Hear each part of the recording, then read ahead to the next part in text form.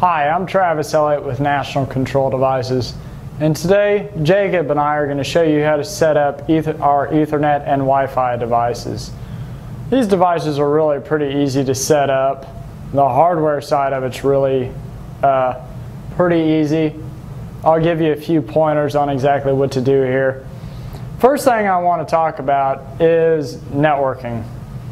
We at National Control Devices are not necessarily networking experts. We are I.O. and relay control experts. What we have done is we've taken Digi modules that have Ethernet connectivity and Wi-Fi connectivity and we've integrated them into our product line. These modules have been great. They've given us really very little problems. So um, the one thing that I have found that works good for me is whenever I'm setting up one of our controllers on a network, I like to make sure that that network has internet connection. That really seems to help ground the network.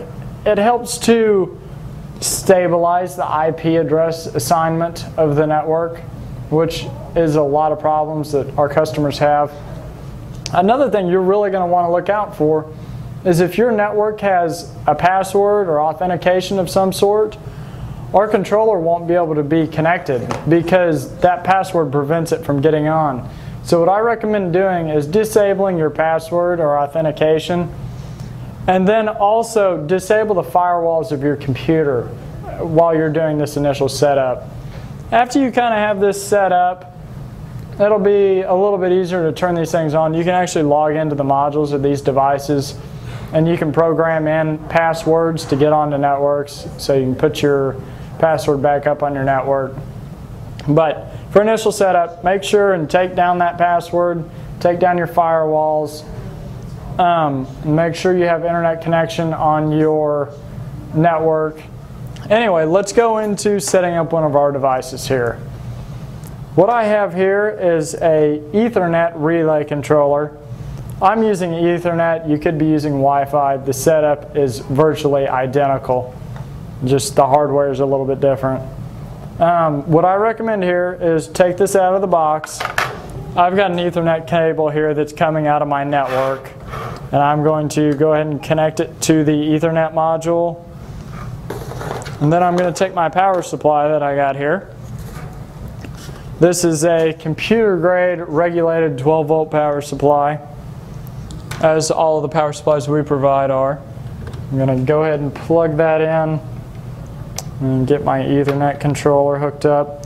And you'll see initially these first two lights are going to flash really fast. That's normal. That's it communicating with the network.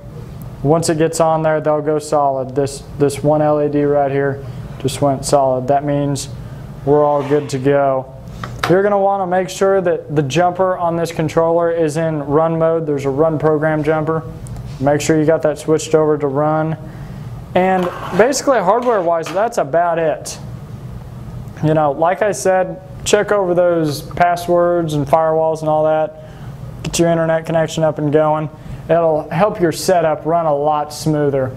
And once you get this all set up, you can use the IP address that Jacob will help you find to log into this module and change your IP address. But I really recommend you do not do that initially. Follow this setup, then change your IP address, okay?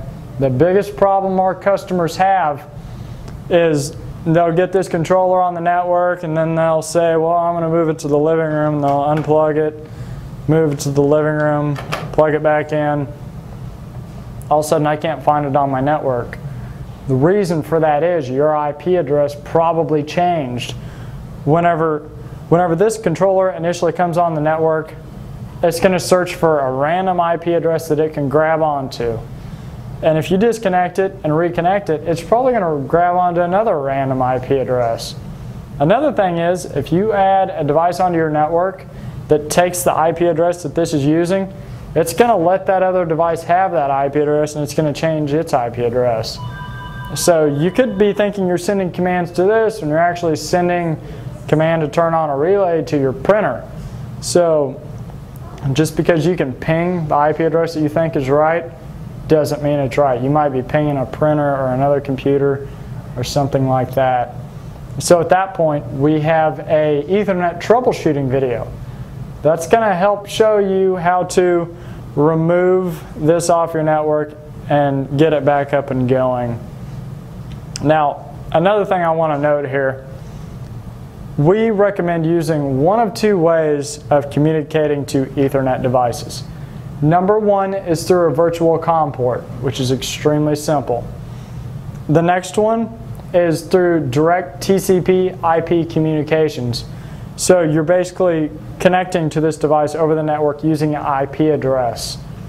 That can be a little more complex.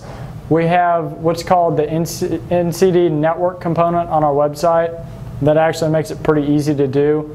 You're going to take that IP address that Jacob gives you and you're going to use that to plug into those example programs and it'll kind of help you get up and going.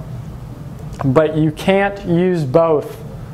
Okay, if you follow Jacob's instructions for creating a virtual COM port using RealPort, you cannot do direct TCP IP communications. It's impossible because you're going to have two different lines going to the controller and it won't work.